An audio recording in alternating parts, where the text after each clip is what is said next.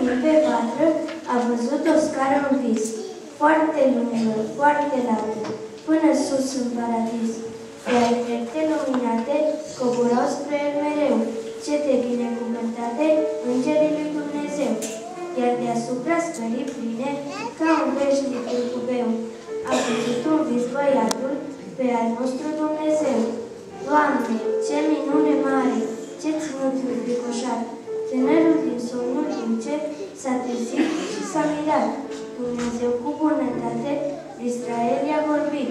Nu te teme, sunt cu tine, Domnul i-a făgăduit. Ție îți voi da pământul, ție și la tăi copii, Canaanul plin cu roade și cu multe bogății.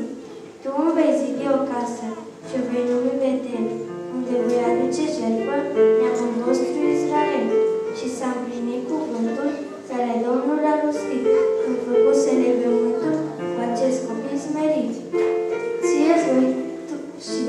merew ko warit mi dengin jenbe bo